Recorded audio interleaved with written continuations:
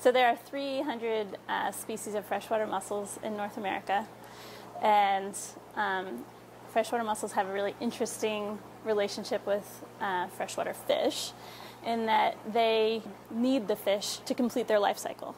If a freshwater mussel does not have the correct fish around it somewhere um, while it's trying to reproduce, um, it won't be able to have babies, basically. The way that that happens is um, the freshwater mussel releases its babies, um, so the larvae, which are like these little Pac-Men, and those little Pac-Men um, attach to the gills of a fish, and each freshwater mussel species has a different host fish that they use. Um, and during that time, they're, they're parasitic on the fresh on the fish, but it doesn't hurt the fish because they're microscopic at that point. They're so tiny at that point that the fish doesn't even notice. And they only stick, stick around on the fish for two to four weeks.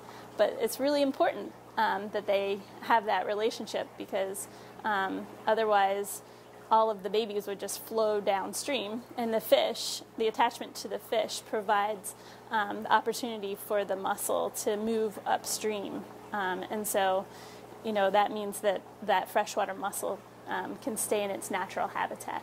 And most uh, freshwater mussels live in the habitat where the fish host live. And so the fish host kind of swims into an area that's perfect for a mussel. These mussels live down in the substrate. So if you were to see a mussel in the stream, all you'd see is about this much of it. Okay, so um, it would be sticking its siphon out the top here, and it would be um, sucking in the water, and then it would filter out the sediment or nutrients or algae, bacteria, all of those things that it needs to live and that help clean up the water. This is the freshwater mussel that is the most abundant along the whole East Coast. Um, it's a common species, not endangered. We hear about freshwater mussels a lot, and we hear about the endangered ones, but this one is a common species. Um, and it's called the Eastern Elliptio. And you can see this is a old one. Um, you can see how its shell is like really pretty beat up.